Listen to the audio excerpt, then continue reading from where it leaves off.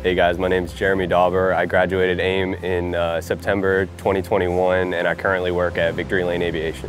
Before AIM, I was in high school. I was not really much of the college type and I wanted to do more like hands-on stuff. So I had a family friend who was an aircraft mechanic at American Airlines and uh, he kind of told me about his experience and kind of convinced me to go to school and become an A&P. I would recommend AIM. I really enjoy working on cars, so like going through like the power plant classes was definitely my favorite. Tearing down the motors and rebuilding them was definitely my speed.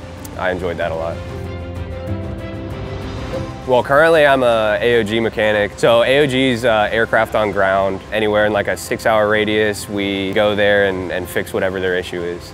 Right now I'm in the shop, so sometimes we'll get a week in the shop. Other times we're just constantly on the road, bouncing from plane to plane. Me personally, I like didn't know much about it. So it's kind of cool to be like behind the scenes. Obviously like pilots get all the glory, but it's a pretty cool feeling to know that our jobs are pretty important.